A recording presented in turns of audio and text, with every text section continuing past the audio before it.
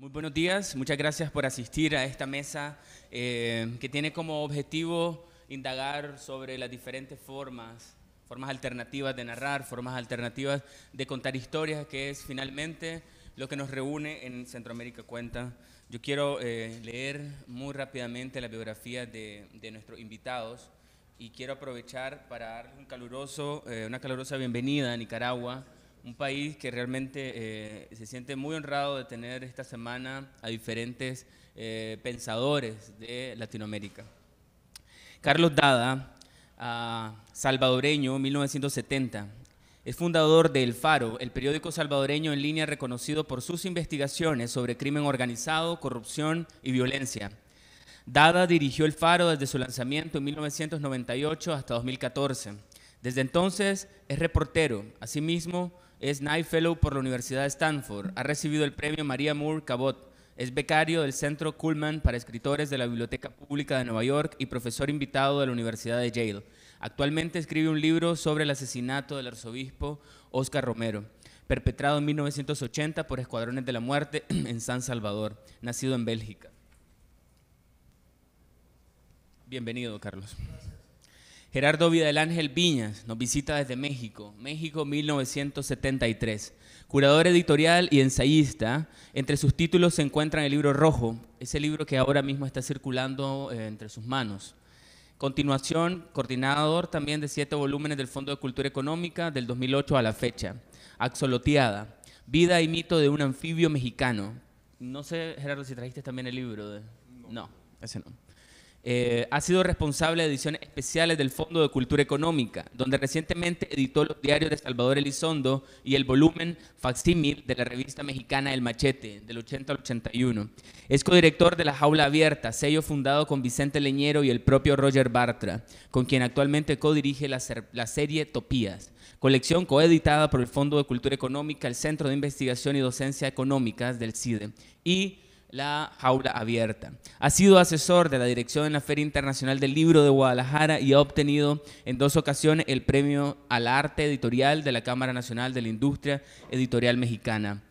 Muchísimas gracias, bienvenido Gerardo. Como verán, como escucharon, realmente tenemos dos invitados de lujo. Eh, yo no quisiera comenzar de otra forma una mesa donde tenemos como objetivo narrar, contar otras maneras, de contar de otras formas la historia. Yo quisiera, en esta idea que intentamos encapsular en 50 minutos, advertir que nos vamos a pasar 10 porque ya comenzamos 10 tarde y con la autorización de la directora. Y quisiera arrancar de entrada, aprovechando la invitación, a tener dos invitados internacionales, ponernos en contexto. Por favor, en el orden que ustedes deseen, un boceto a mano alzada del Salvador y de México contemporáneo. Gracias. Bueno, primero, em, gracias por la invitación. Eh, acabo de estar hojeando ese libro, esos libros que están circulando de Gerardo. He de decir que estoy muy impresionado. Em, me seducen los libros bien hechos y la, la manufactura del libro rojo es impecable. Eh, te felicito, Gerardo. Estoy muy impresionado creo que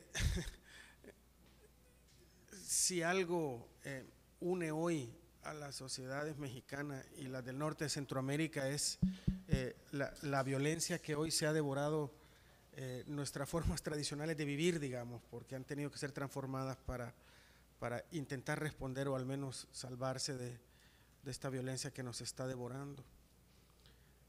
la semana pasada salieron unas estadísticas que sitúan a México como el, segundo país con más muertes, en el, con más homicidios en el mundo.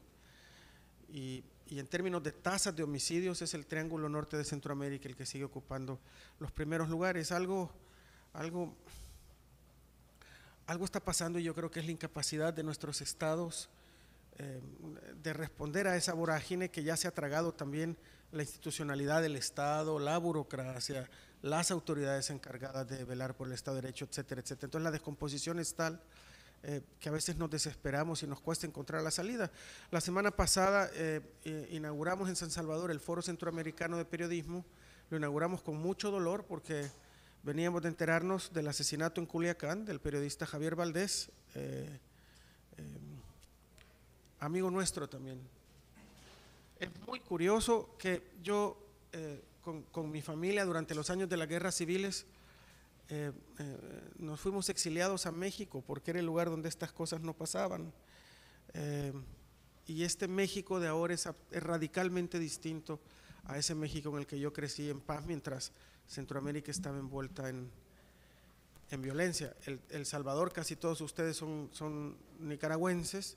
El Salvador es el país más pequeño de América Central, el único que no tiene costa hacia el Caribe eh, y, el más densamente poblado, todavía el más densamente poblado del continente.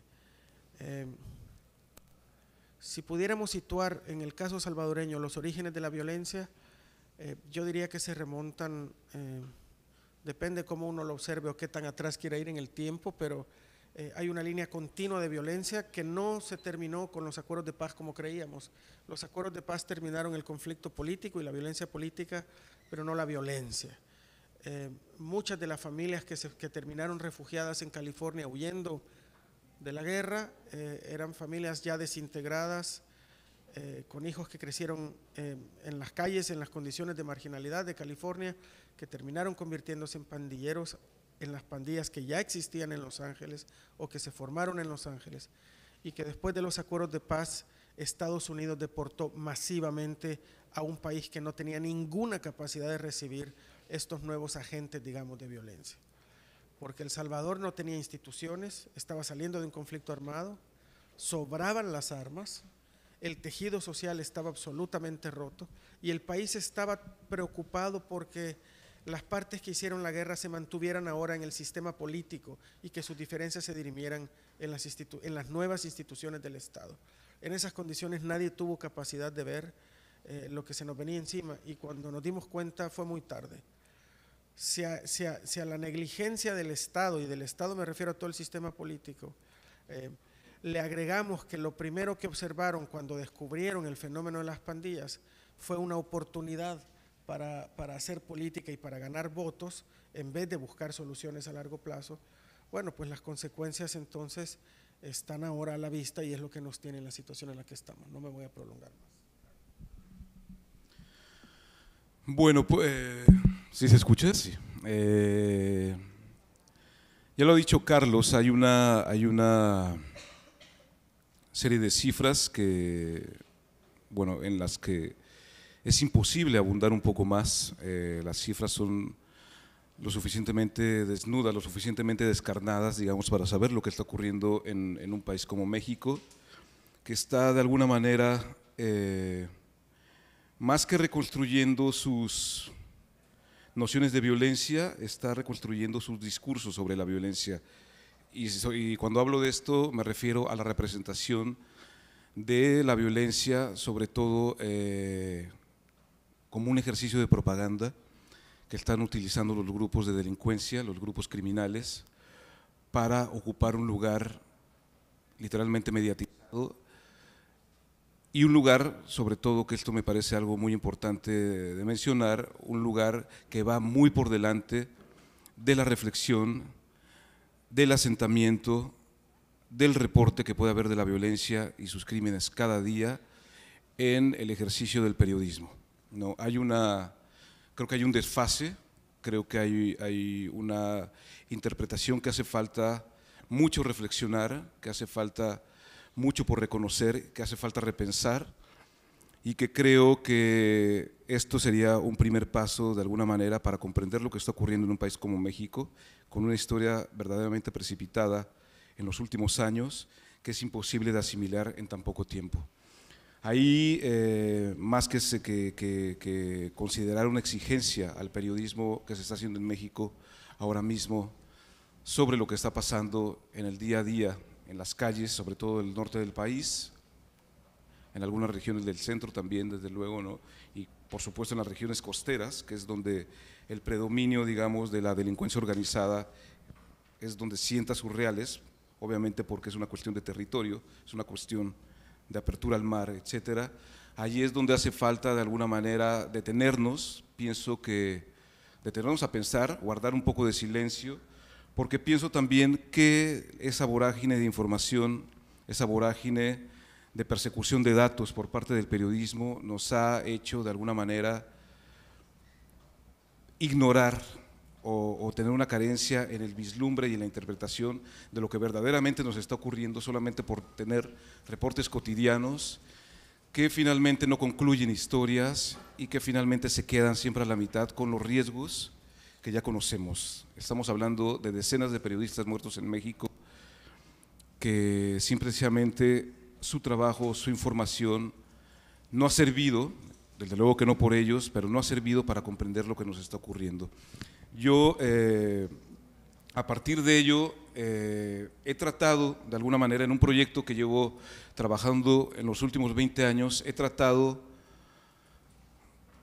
de buscar eh, transformar ese discurso de la violencia para reflexionarlo de una mejor manera, para repensarlo y para reconocerlo desde los puntos de vista historiográficos y desde los puntos de vista literarios. Eh, y esto me llevó, digamos, a construir y a prolongar más que construir. Esto es un proyecto que yo pensé eh, antes del escenario que estábamos viviendo en México. Eh, estoy hablando del libro rojo, eh, me llevó a prolongarlo para acotar de la mejor manera, desde la interpretación de filósofos, de historiadores, de artistas visuales, lo que nos estaba ocurriendo. ¿no? Esto se convirtió finalmente en una forma de catarsis. Gerardo, te voy a interrumpir ahí porque yo quisiera, antes de que nos contés sobre el libro rojo, precisamente citar el libro rojo para que por favor nos expliques cómo se gestó dentro de tu, dentro de tu vida, porque finalmente eh, los periodistas, los investigadores, los escritores no, no separan no se puede separar la emoción de lo que de sus vidas cotidianas de lo que son sus proyectos profesionales, sus proyectos académicos. El libro rojo se cita en el prólogo. El libro rojo apareció como un registro singular de la muerte que México vivió durante ese proceso de su civilización. Estamos hablando hacia el final de, de, lo que fueron de, las guerras contra Francia, contra la intervención estadounidense, 1860 y, cortando en otra etapa cuando se siente un México que ha logrado cerrar un capítulo de su historia y necesita decir en un formato como fue el libro rojo, un libro que cuenta la historia del terror, de la sangre de un país que se quiere convertir en país. Esa aspiración que tiene el, el escritor para condensar y decir, este es nuestro espejo, en esto nos vemos, vamos adelante. Eso ocurrió en el siglo XIX, en el siglo XX, siglo XIX, siglo XX. ¿Qué te impulsó para seguir esta misión? Bueno, a mí me, gustaría, eh, para responder esta, esta, pregunta, y si me lo permiten, ¿no? yo traje, hice un texto ¿no? que de alguna manera, eh, tuve que hacerle un texto porque finalmente editor, digamos, lo compuse de ciertas citas que son un acercamiento, yo creo que lo más estrecho y lo más, eh, de, alguna, de alguna manera, eh, abierto, finalmente, por las perspectivas que puede incluir, de ciertas lecturas que se han hecho sobre el libro. Entonces, permítanme leerlo. Eh, y lo hice a partir de silencios. Creo que, les expliqué, según mi perspectiva, esa, ese modo de silencio que creo que hace falta en el retrato y en el discurso de la violencia de México, en la opinión, digamos, sobre lo que está ocurriendo cada día porque es una estridencia que finalmente no nos permite escuchar y no nos permite ver una realidad que tiene que ser transformada urgentemente. Lo pongo como una nota y abro así. Las intervenciones que yo pueda tener en este texto, sugiero se escuchen como esos silencios que pudo intercalar Borges cuando conversó por primera vez con su admirado Juan José Arreola. Hay una anécdota muy famosa, que cuando Borges va a México y conoce a Juan José Arreola, al final de esa conversación larga que tuvieron, le preguntan a Borges cómo le fue, qué, platicaron, cómo fue la entrevista con, el escritor mexicano. Y la respuesta de Borges dijo, la respuesta de Borges es, fue una, conversación maravillosa, Juan José me dejó intercalar algunos silencios. ¿no? Juan José Arreola no paraba de hablar.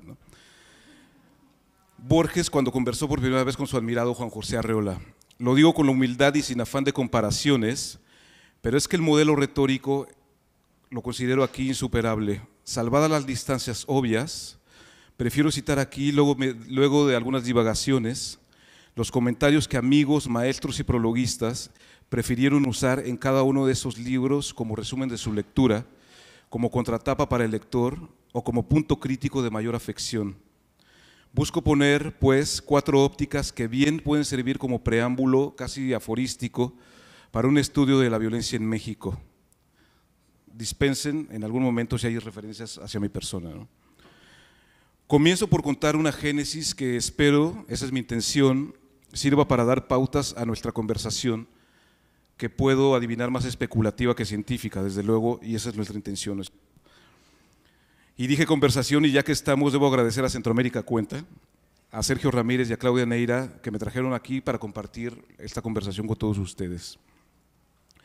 Empiezo con una génesis escrita en una página y a manera de convocatoria hace varios lustros. El libro rojo, una continuación. En medio de un remanso en los procesos políticos y sociales de su época, Vicente Rivapalacio y Manuel Paino crearon uno de los documentos fundamentales de la historia novelada mexicana, el libro rojo, editado en 1870. Este modelo de la tradición que aúna periodismo y literatura alberga una galería de rostros que, en palabras de Paino, son animados y puestos en un instante de bulto ante el lector, conservando en todo la verdad histórica.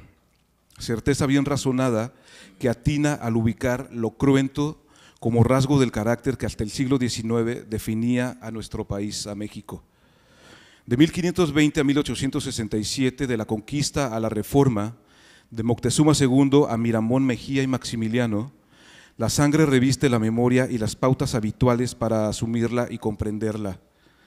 En tanto leitmotiv, su presencia se traduce en legado común de acontecimientos y protagonistas violencia y desgracia como síntesis de un territorio de poderosos y vencidos, la nación como causa que implicó en cada uno de sus periodos y proyectos, la práctica de la barbarie, precedida por verganza, codicia, deslealtad, ambición, y la ira como estrategia intimidante en los vértices de la identidad. En atención a este fenómeno secular, a su ineluctable significado en el mapa de la cultura, vale prolongar la tarea de Paino Rivapalacio, acaso inmersos en un clima similar al que permitió su conclusión, en un contexto transitorio presto a las revisiones, la búsqueda de su continuidad es más que oportuna, pensar el dolor como una experiencia. A 134 años proponemos volver al ejercicio respetando su sentido original, de tal modo que el libro rojo, una continuación, que es lo que tienen en sus manos, insiste en la necesidad de conocimiento del pasado, lejos de criterios académicos, y pendiente del más amplio público. En consonancia será un recuento imaginativo, literario, de episodios y personajes seleccionados por su peso histórico específico o por la penetración ejercida en la conciencia y discurso social. El horizonte a recorrer se extiende ahora, en cruel coincidencia onomástica, de los exertores del, del juarismo, de 1871, a las muertas de Juárez, que es de 1993 a la fecha, tal cual. ¿no? En un margen que encierra un escenario de al menos 90 capítulos, entre otros la rebelión Yaqui, Tomochi, Río Blanco, la decena trágica, la muerte de Pancho Villa, el narcotráfico, Manuel Buendía, Chiapas, el Mocha Orejas, y ahora mismo yo sumaría el asesinato de Javier, o por ejemplo eh, los desaparecidos de Ayotzinapa. Para su desarrollo son convocados escritores de distintas generaciones e ideologías, lo que redunda en una suma de exigencias conceptuales, estilísticas y estéticas que ha demostrado un panorama de la literatura mexicana en los inicios del siglo XXI. Esta fue una convocatoria que yo lancé y que ahora continúo en el, ensayo que hice para, esta presentación. Se trata de mi primera invitación, enviada muy, muy prioritariamente a amigos, a sumarse a un libro que, sin tenerlo en cuenta, ahora ha alcanzado dimensiones enciclopédicas. Hay que decir que ese primer aliento se gestó en algo todavía más primigenio. A partir de una de las varias cátedras dictadas por el escritor José Emilio Pacheco, a la que asistí hace poco menos de 20 años en el Colegio Nacional de la Ciudad de México y que llevó por nombre la revista Moderna y el otro fin de siglo. Tuve oportunidad de abundar allí por la hilación de las ideas del poeta y por una posterior relación de amistad con él mismo en muchos de los aspectos literarios y políticos de los escritores del siglo XIX mexicano, y más concretamente en esa obra que entremezcla las líneas que van del ejercicio creativo a su etos constructor. Digo etos porque el libro rojo es una geografía de horizonte principalmente historiográfico que, con recurso de la crónica, el género que fundó la literatura latinoamericana, reveló no poco del perfil de un país de tres siglos y medio, de la pedrada Moctezuma al fusilamiento de Maximiliano, por intermediación de un puñado de plumas y agentes liberales relevantes y activos, como eran Vicente Rivapalacio, que fue general, eh, un general que luchó contra el imperio y la invasión francesa, fue ministro de la Corte, gobernador de diferentes estados en México, embajador en España, nieto de Vicente Guerrero, el independentista y presidente mexicano, Manuel Paino, participante en las guerras contra las invasiones de Estados Unidos y Francia, ministro de Hacienda, autor de la novela Los bandidos de Río Frío, Juana Mateos, abogado, secretario de la Suprema Corte, eh, de la Suprema Corte con Benito Juárez, diputado, Rafael Martínez de la Torre, también diputado, regidor, defensor, curiosamente, de Maximiliano, y Francisco Zarco, un historiador, periodista, diputado y canciller con el mismo Benito Juárez. Todos ellos dieron vida a unas páginas comprometidas que en mi lectura resumen un modelo prematuro de la literatura de no ficción en el alumbramiento de la modernidad, mucho antes, claro está, del texto emblemático del canon de lo que después mutaría a periodismo narrativo, es decir, a Sangre Fría de Truman Capote, publicado 100 años después, en 1966. El libro rojo editado en 1870 es un compendio de 33 capítulos que reconocí en las charlas con José Emilio como una unidad conceptual, aunque, visto en retrospectiva, su corpus ya me había asombrado desde la infancia por los grabados en sepia de sentenciados, muertos y asesinos que eran preámbulo de cada una de sus historias, portreto del dibujante Primitivo Miranda y los litógrafos Ezequiel Iriarte y Santiago Hernández, y que descubrí en los anaqueles de la biblioteca de mi abuelo, que guardaba un ejemplar muy mal editado por la editorial del Valle de México. Hay una tesis primera de Vicente Leñero, lo que así he mencionado.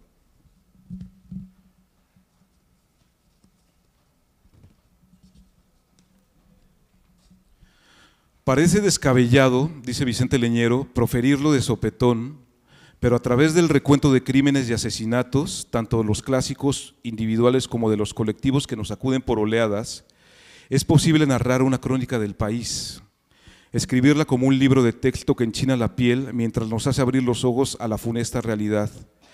El asesinato como dínamo diabólica de nuestro curso por el tiempo. El asesinato como bella expresión literaria de las tragedias del pasado y del presente. Y sin duda del futuro. En la, en la contemplación del rojo pastoso de la sangre derramada por las víctimas, inocentes o culpables, se consigue apreciar mejor la posibilidad la necesidad de una redención definitiva.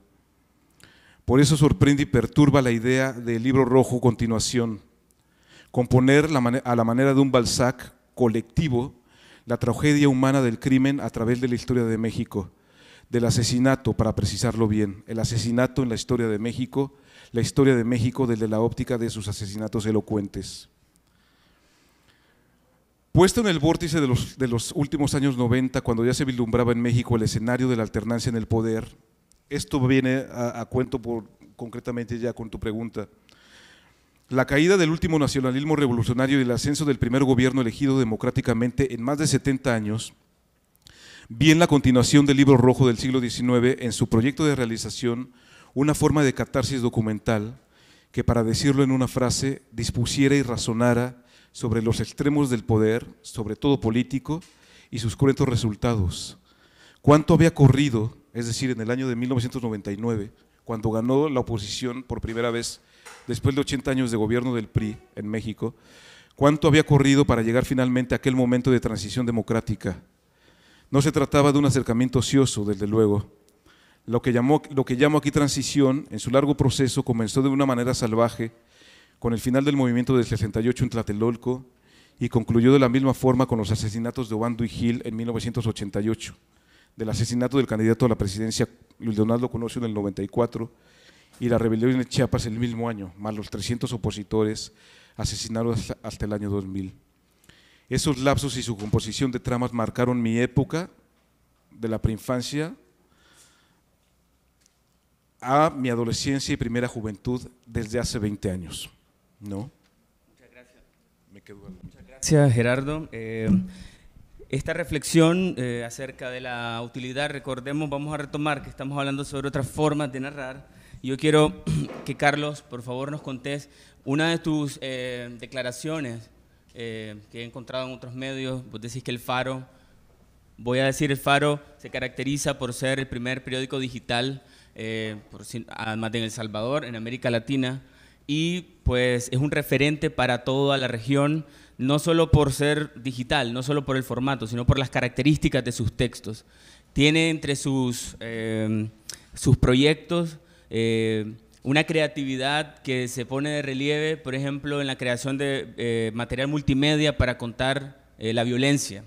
Si somos aquí este, un poco más observadores, lo que une esta mesa, lo que nos está uniendo, no, sería el, no es el deseo, pero es la violencia. Es decir, estamos hablando de una región violenta, de medios que intentan contar la violencia, pero a través de otra manera. Y Carlos ha descrito, ha narrado, ha expresado en diferentes entrevistas que el Faro nació como una forma de cambiar a la sociedad, de llegar a las élites, porque en ese momento en El Salvador solo había acceso al Internet. Crean un periódico digital para un país donde solo un 1% tiene acceso a Internet.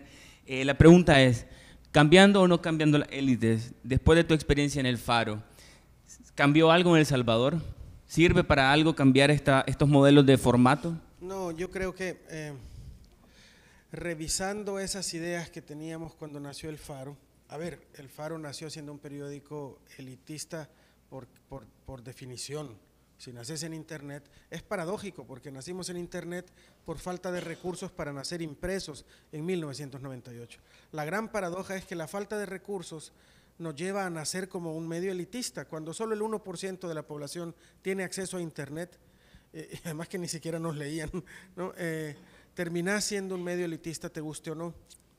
Yo ahora que lo reviso, claro, en el momento creo más bien que nos quisimos autoconvencer de que lo que hacíamos valía la pena porque, cuando, porque las élites son las que tienen capacidad de transformación y que si tú eh, eh, tenías impacto en las élites, de esa manera transformás a tu sociedad.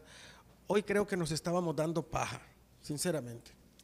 Yo no creo que las élites se vayan a mover de su lugar porque el, sistema que protegen y que conservan es justamente lo que las sostiene como élites. Eh, las élites solo cambian cuando se ven obligadas a cambiar para mantener su posición de privilegio, nada más. Y eso no lo hacen por leer el faro.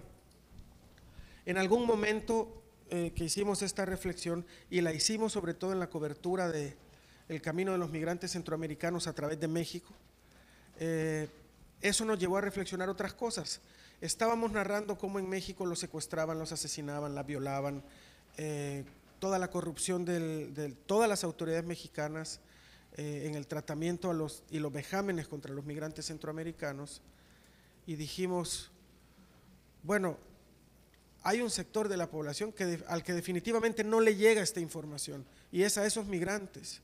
Y para ellos esta información es de vida o muerte, es una información que les podría ser útil para salvar sus vidas.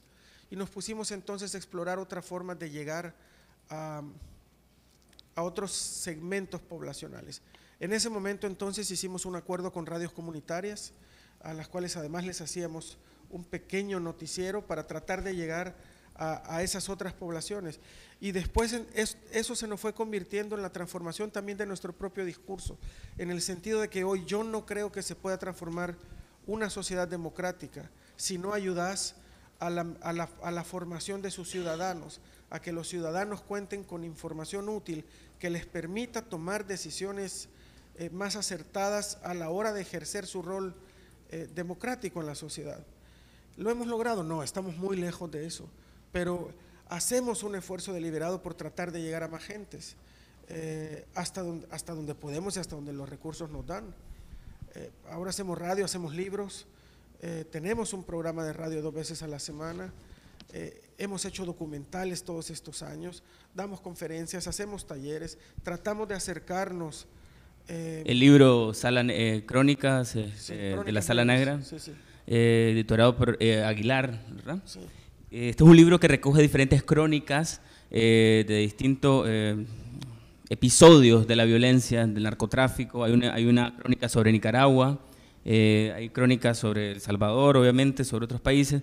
Yo, Carlos, quisiera hacer una pregunta más sobre una declaración que también hiciste. Dice, dijiste, la las democracias solo funcionan cuando tienen ciudadanos informados para emitir un voto responsable has hecho esta exploración a través de distintos formatos, radios, videos. Eh, yo les recomiendo que busquen realmente en internet estos, estos proyectos, porque realmente quedan ahí de referencia. Yo quisiera que nos regalaras una reflexión sobre esta eh, interlocución que te arriesgas a hacer entre el periodismo y la democracia. ¿No es demasiada responsabilidad para el periodismo o es esta la función del periodismo? A ver, no, nuestra función es informar, informar y en ese sentido formar y nuestras experiencias en los últimos años, y les cito un ejemplo solo para que quede más claro lo que estamos hablando. Eh, en los últimos tres años hemos estado denunciando ejecuciones extrajudiciales por parte de la policía. Esto quiere decir que la policía captura pandilleros y cuando ya los tiene sometidos, eh, los ejecuta. Y después siembran armas, siembran pruebas y, lo presentan como un intercambio en el que solo mueren pandilleros. Eh, hemos logrado documentar cómo han sembrado las, armas, cómo han fabricado la escena. Y esto nos ha traído una reacción visceral, no solo evidentemente de las fuerzas policiales, que era de esperarse, sino también de muchos de nuestros lectores. Yo los entiendo y me parece que la ecuación es natural. En un país que ha sido culturalmente violento, lo cual quiere decir que la violencia ha sido nuestra solución más eficaz para todos nuestros problemas. Em, es natural que, buena parte de la población piense de esta manera. Somos un país violento, donde nos están violando a nuestras hijas, extorsionando a nosotros en nuestros negocios, están matando al paletero, al, al chofer del microbús. Esta violencia que nos afecta a todos, el principal responsable de esta violencia son las pandillas. Ese es el cáncer. Si la policía está eliminando ese cáncer, ¿por qué el Faro está denunciando? ¿Por qué el Faro está obstaculizando esa lucha eficiente para, erradicar ese cáncer? Es un pensamiento muy lógico y muy natural en una sociedad como la nuestra.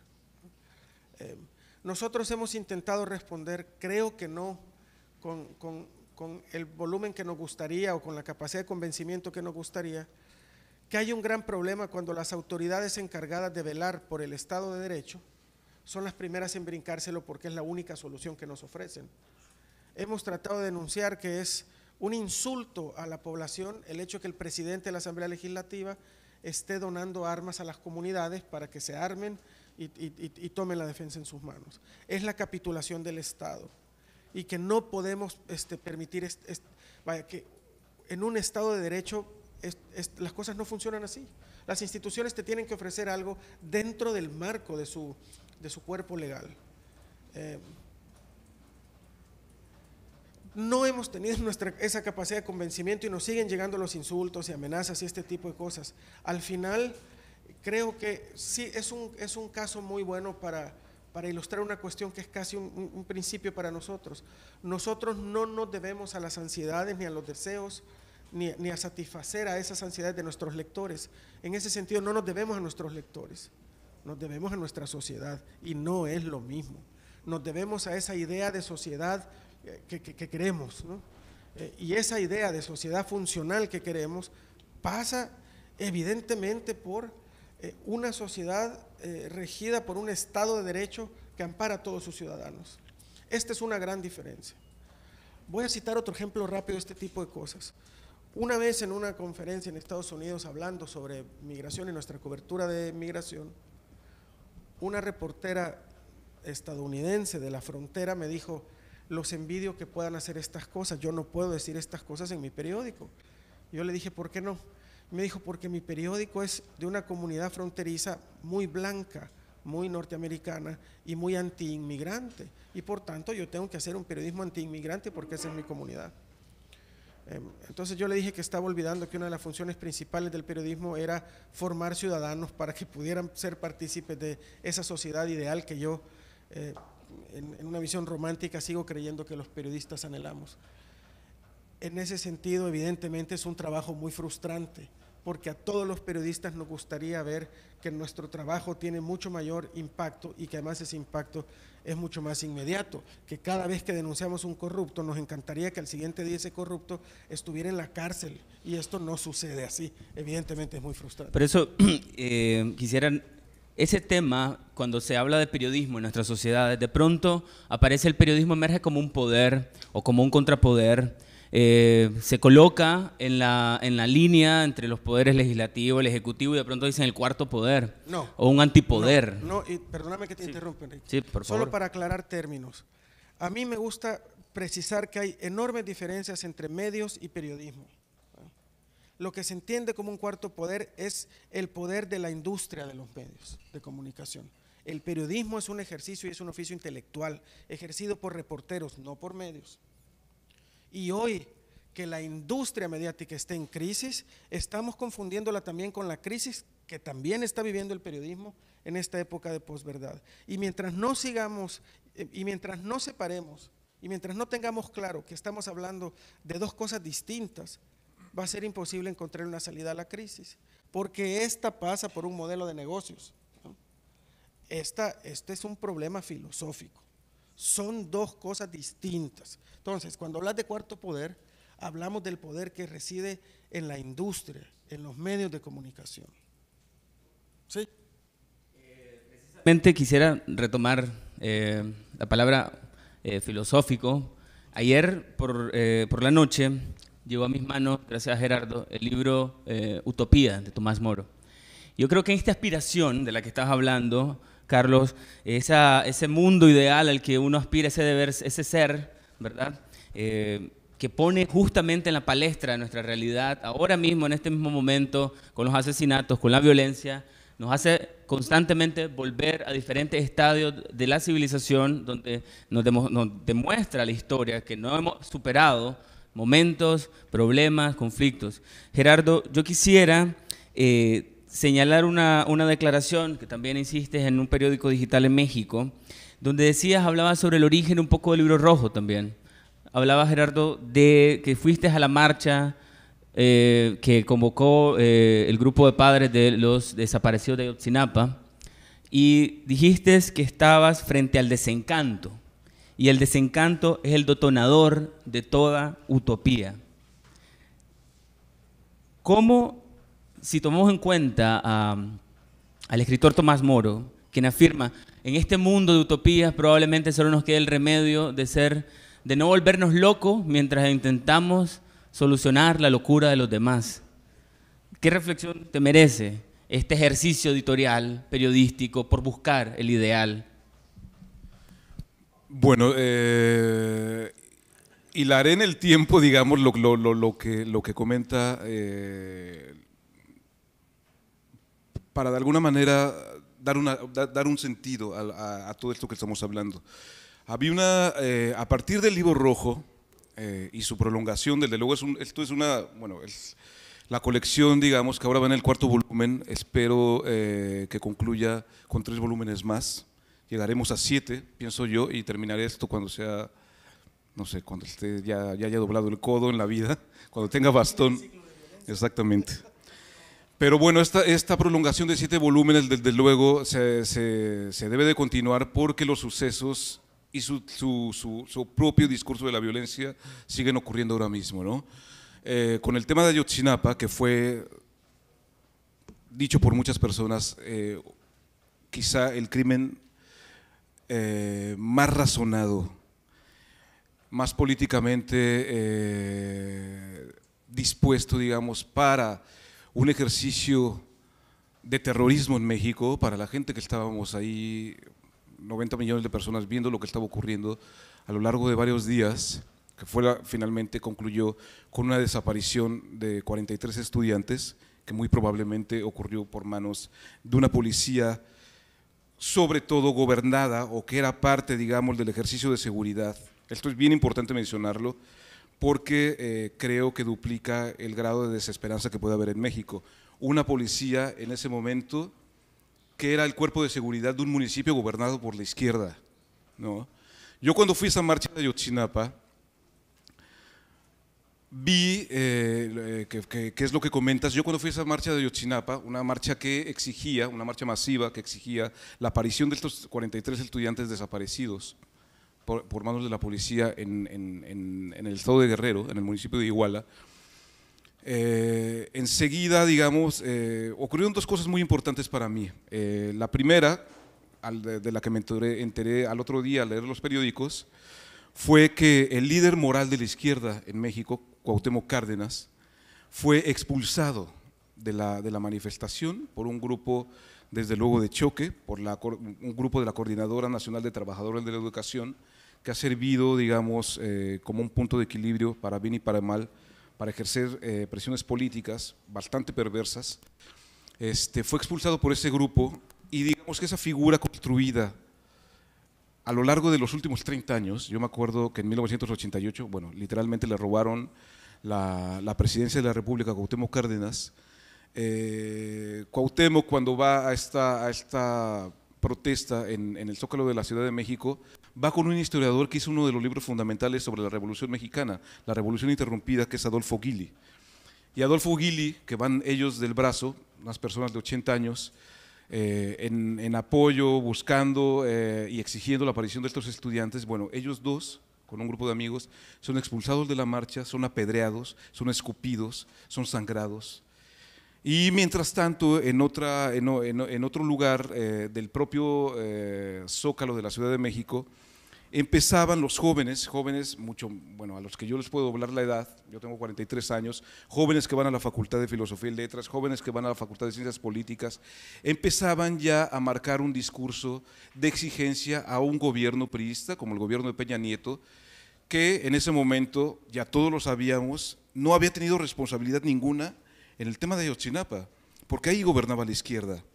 Esa fue la desesperanza que a mí, digamos, me abrió un panorama que implicó, en principio, lo que me demostró esa marcha es que hay una crisis de, la noción de verdad en México, hay una crisis de la noción de justicia en México, hay una crisis de la noción de, dignidad en México y que si no resolvemos en principio la noción de, verdad de lo que está ocurriendo, es difícil que pueda surgir una transformación en cuanto al tema de la violencia sobre todo, ¿no es cierto? Eh, de ahí lo que, lo, que, lo que nos propusimos un, amigo y yo, que es Roger Bartra. Roger Bartra es un antropólogo mexicano bastante reconocido. A partir de esa crisis de verdad, a partir de esa crisis de, dignidad o de nocional de dignidad, de verdad, etcétera, nos propusimos volver y detenernos, bueno, en principio detenernos, volver a, una, a, un, a, un, a un grado cero, digamos, para poner a disposición de estas jóvenes generaciones esos discursos que a lo largo de la historia de Occidente, en los últimos dos mil años, digamos, se han realizado en momentos de crisis. Y esos son los discursos utópicos, o sea, que van desde Platón, por ejemplo, desde la República, propuesta por Platón, hasta desde luego pasando por Tomás Moro, y desde luego pasando a esas distopías también, que te pueden ofrecer muchísimo, de las nociones de verdad, de justicia, de dignidad, etcétera, distopías que tienen mucho que ver con Kafka, que tienen mucho que ver con Kobo Abe, que tienen mucho que ver incluso con, con, con, escritos de Borges. Esto lo propusimos, lo hicimos en conjunto con el Centro de Investigación y Docencia Económicas. El Centro de Investigación y Docencia Económicas en México lleva varios años estudiando la justicia cotidiana en México, es decir, la justicia que ocurre en el mercado cuando un marchante te vende el kilo de tomates, la justicia que existe en las carreteras cuando tú tienes que pasar por una caseta, la justicia que existe, por ejemplo, en la cola de las tortillas. Esto lo, lo aunamos a un discurso para, de alguna manera, ver esos momentos de crisis en la historia de Occidente, sobre todo, y tratar de imaginarnos de una manera distinta. Gerardo, habla sobrellevar la filosofía a las calles. También has declarado de que este proyecto intenta, como también Carlos se encuentra en el objetivo por conseguir que, el mensaje llegue a, las personas que no están en las élites. ¿Se consigue, ¿Lo consiguieron? ¿Se puede hacer? Bueno, en principio hay, varios ejercicios y esto tiene mucho que ver con una estrategia de, de penetración que queremos hacer con estos libros. Bueno, desde luego hay presentaciones en escuelas, hay presentaciones, hay curadurías, digamos, cinematográficas, en donde cada vez que se presenta un libro de estos, cada, una, cada vez que se presenta una de las utopías, podemos proyectar una, una, una, distopía en un ciclo de cine que puede durar una semana y donde van jóvenes, desde luego. ¿no? La idea también es hacer un planteamiento paralelo al teórico o al académico, con epílogos, cada, cada libro de estos trae un epílogo eh, en donde un escritor le da el valor literario a un género tan noble como es el género de la, de la, de la utopía, para de alguna manera ampliar, digamos, el, el, círculo de lectores que puede tener cada uno de estos libros. Ahora mismo en el Fondo de Cultura Económica, que por cierto es uno de los coeditores de esta serie de utopías, hay, una, hay, un, hay un ejercicio que se llama El Fondo en tu Escuela, en donde van autores, a platicar con, con jóvenes, con estudiantes, etcétera, para eh, de alguna manera tener una cercanía, eh, platicarle de ciertos textos en específico, bueno, literarios, pero lo que vamos a hacer con el tema de las utopías es también establecer ese discurso utópico para contextualizarlo, digamos, en el horizonte mexicano tan violento y tan extremo, digamos.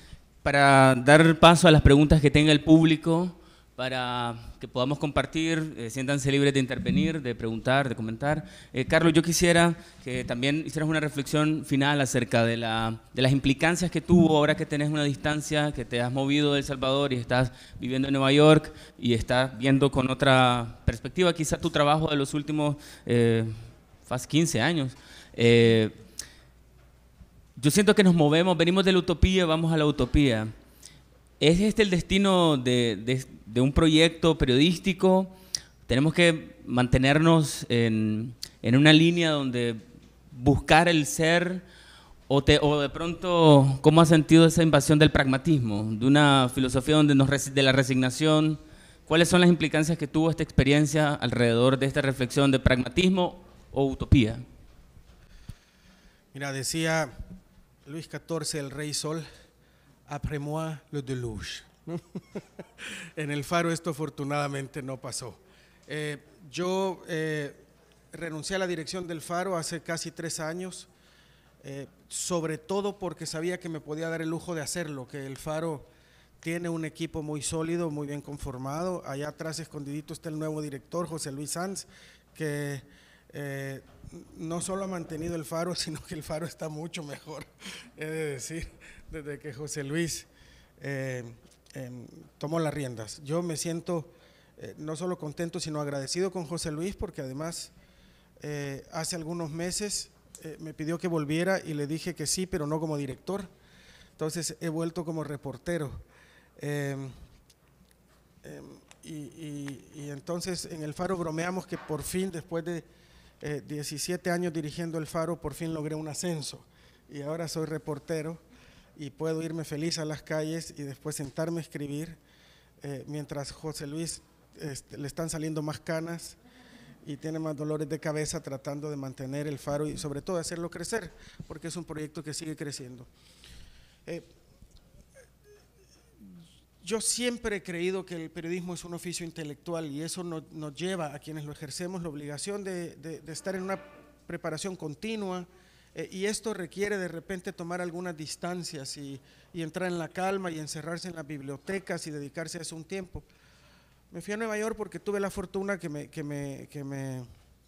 que obtuve una beca de la Biblioteca Pública de Nueva York, del Centro Coleman para Escritores, y eso me permitió, digamos, eh, aislarme un tiempo para eh, tratar de nutrir este proyecto de libro que tengo y que no he terminado, pues. Pero yo, yo me siento muy tranquilo de haber dejado el faro. No sé si José Luis diría lo mismo, pero, pero yo me siento muy tranquilo. Eh, Gerardo, sí. Qué respuesta tan ansiosa, José Luis. Eh, finalmente, tu misión como curador editorial, ¿se la debes a la utopía o al pragmatismo?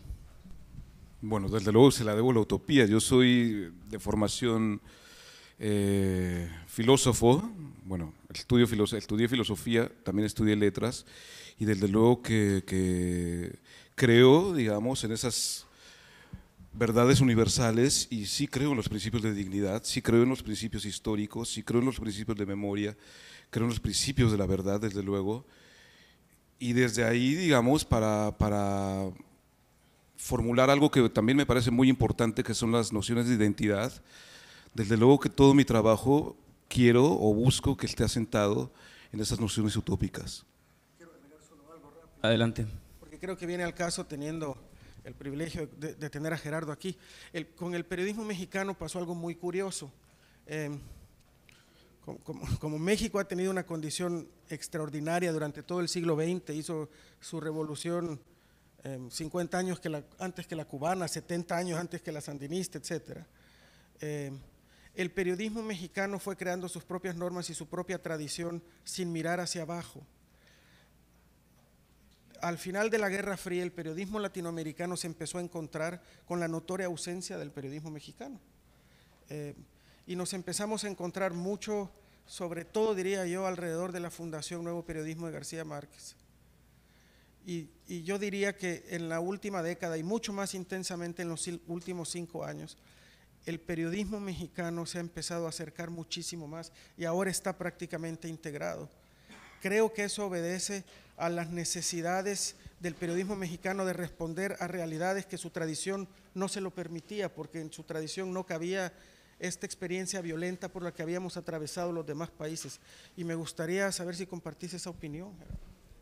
Eh, medianamente. Eh, El periodista. Yo sí, no, por ejemplo, eh, pienso que, mucho de la tradición, y sobre todo de, una tradición fundamental que es la tradición de la crónica y su construcción, digamos, en el México contemporáneo se debió en mucho a, la novela de la revolución, o lo, que, lo que llamaron literatura de la revolución, mucho de ella asentada, digamos, en el discurso de la crónica periodística. ¿no? Por ejemplo, hablo de Nelly Campobello, hablo de Martín Luis Guzmán, digamos que en efecto esa tradición, eh, no se puede ver de otra manera, formuló ciertos parámetros que fueron, además de todo, heredados por cronistas o por periodistas muy importantes, que ahí sí puede haber una, forma de liga con lo que tú, con, lo que tú estás comentando. Eh, pudieron romper, pero no por ellos, sino por las circunstancias, digamos, de los tiempos. Muchos de ellos murieron en, una brevedad, así, en un lapso, además de todo es un, si lo vemos como una, cuestión azarosa, hemos tenido mala suerte. Muchos de los periodistas que pudieron dar un seguimiento, digamos, al México de los últimos años, murieron en muy poco tiempo. Hablo de Carlos Mosibáis, hablo de Vicente Leñero, y hablo desde luego del asesinato, por ejemplo, esto puede dar una, una visión de, lo que, de que lo que está ocurriendo en México no es nada nuevo. Hablo del asesinato de un periodista bastante importante en 1984 como Manuel Buendía, ¿no es cierto? Entonces, eh, es, es, es, cierto también lo, lo, lo, que mencionas, ahora hay una integridad que exigen los, los, propios acontecimientos, que bueno, que se agradece muchísimo, pero que yo de alguna manera pienso debe de, alguna, de, de algún modo relajarse en cuanto a su estridencia. Creo que es un periodismo que hace falta que reflexione un poco la violencia, que, salga de alguna manera del el, reporte del día a día para mirar hacia atrás, ver que lo que está ocurriendo no es nada nuevo, buscar parámetros este, que tienen que ver con la historiografía para de alguna manera representar de una mejor manera y comprender el presente mexicano. ¿no? Bueno, eh, vamos a tomar un par de preguntas, unas preguntas porque se nos acabó el tiempo para aprovechar también a nuestros invitados.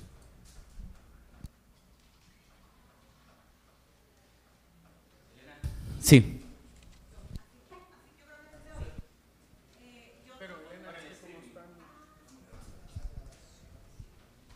Bueno, gracias. Eh, yo tengo un comentario consulta para los dos, pero creo que Sí, para los dos. Em, estando en México, eh, con algunos amigos, historiadores, arquitectos, e, etcétera, escritores, siento que hay, eh, con respecto al periodismo mexicano, y no solo al periodismo mexicano, sino a la forma de narrar la experiencia actual, como una ansiedad en el lenguaje para articular una noción de guerra. Es decir, yo estoy de acuerdo con lo que dice Gerardo de la violencia como propaganda.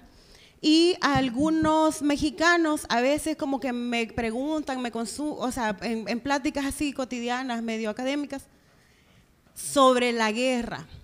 Pero yo creo que lo que está sucediendo en México no tiene que ser pensado en clave de guerra como la Guerra Fría y las experiencias cercanas centroamericanas, sino que supongo yo que es otra articulación de otra forma de narrar la guerra que ahorita no conocemos. Eh, y que creo que no hay que buscar como moldes o modelos para contar estas experiencias, porque también creo, como dice Gerardo, que hay que buscar en historiografía respuestas, pero como esta violencia es un poco inédita para la experiencia mexicana anterior, eh, em, ¿qué, caminos creen ustedes que hay que, que hay que seguir como para contar esta nueva experiencia de violencia mexicana que está relacionada con Centroamérica, pero que no tiene una articulación similar a las guerras civiles? No sé si me di a entender.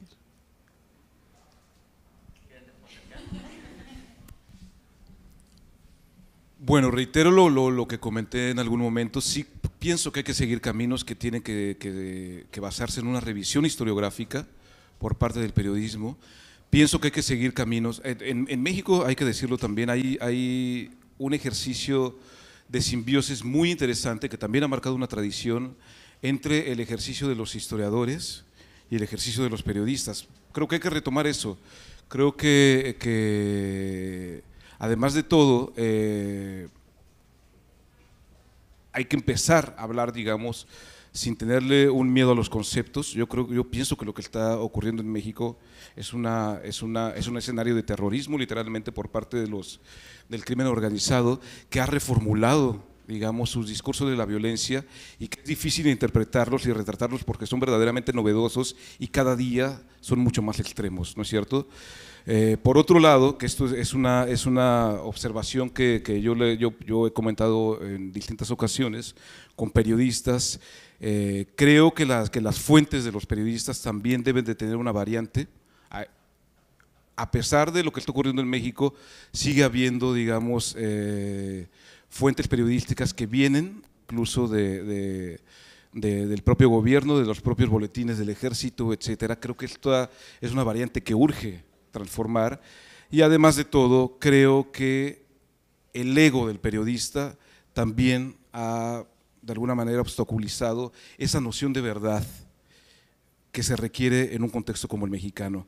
Eh, hay, han proliferado, desde luego, no estoy diciendo que sea una generalidad, pero han proliferado las notas, los reportes, las, las, las, crónicas en donde el periodista mismo es un personaje, es un protagonista de la información. Y esto viene a contaminar una verdad que simplemente nos es velada y urge que sepamos. No sé tú qué pienses. Pues yo voy a ser muy breve porque no, no, me atrevo a hablar a nombre del periodismo mexicano, Elena, solo por, por nuestros intercambios que estos días han sido muy intensos con ellos. Eh, de decir dos cosas. Lo que hemos visto nosotros en los últimos años es que el periodismo mexicano está sobre todo tratando, y digo el periodismo y no los medios, y hago otra vez la, diferencia, los periodistas mexicanos están tratando de sobrevivir y están estos días tratando de cumplir con su trabajo y con su profesión, viendo cómo, cómo no los matan, en la mayor parte de los casos, ante el desamparo de sus propios medios de comunicación. Eh, claro, se han enfrentado con un problema y es eh, eh, la, la, atomización del gremio, digamos, ¿no? y, que, y que ha primado esta serie de celos, de competencias, de, problemas entre ellos. Ante el asesinato de Javier, eh, por primera vez yo he visto un esfuerzo de dejar atrás esas diferencias y encontrar en esa unidad la, la, mejor protección. Está pasando estos días, pero es algo nuevo en México. Nosotros eh, eh, y cuando digo nosotros me refiero al resto del periodismo latinoamericano, les hemos estado insistiendo que, que, se miren en la experiencia colombiana. En, la experiencia colombiana, cuando el periodismo colombiano tuvo que enfrentar las épocas de Pablo Escobar, de los cárteles fuertes que atacaban al periodismo, eh, su mejor protección fue la unidad gremial. en México esto hasta hoy está pasando entre los periodistas y los medios por fin han empezado a reaccionar, los medios que siempre se habían mantenido en México, y lo digo con estas palabras, con una enorme cobardía. y además, y con una enorme cobardía, los grandes medios en la Ciudad de México y en provincia, muchos medios mandando a la muerte a sus periodistas eh, y después abandonándolos. Creo que estamos empezando a ver un cambio, lo cual eh, me alegra mucho y no quiero hablar más porque no vivo en México y no ejerzo periodismo en México.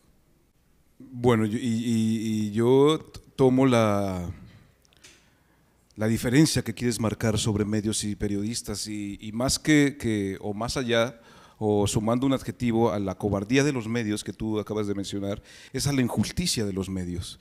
Porque en México también, que esto espero, eh, al parecer, va a ser una de las temáticas que se van a entablar en estas reuniones que va a haber de periodistas a partir del asesinato de Javier, se va a hablar, por ejemplo, de las condiciones del periodismo, las condiciones laborales, quiero decir, del periodismo en México. O sea, nosotros, además del centralismo mexicano, estamos muy enfocados, digamos, en las condiciones económicas que puede tener el periodismo en la Ciudad de México, pero ignoramos o no queremos ver como gente de letras, como gente de medios, como gente de, especialistas, académicos, etcétera, la realidad de estos periodistas que viven en el interior del país que cobran por nota 50 pesos, es decir, medios millonarios 2.5 dólares, exactamente, ¿no? Y que no tienen seguro de vida, no tienen seguro eh, social, no tienen un seguro para, para de viudez, por ejemplo, ¿no?